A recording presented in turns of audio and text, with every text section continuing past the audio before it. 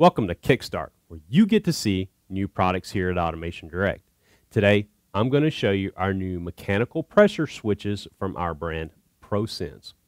We've just added 20 new parts with these mechanical pressure switches.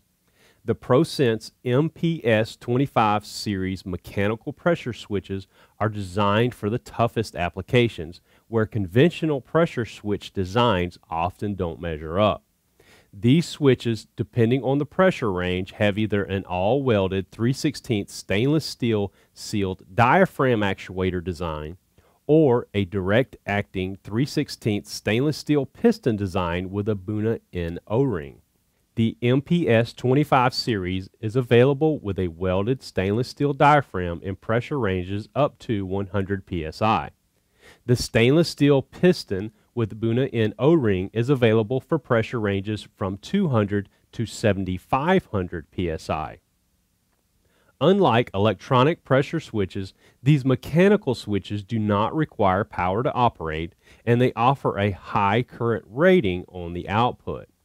Some of the features of these ProSense mechanical pressure switches are the enclosures are made of 3 16 stainless steel Pressure ranges from negative 15 psi vacuum to 7500 psi.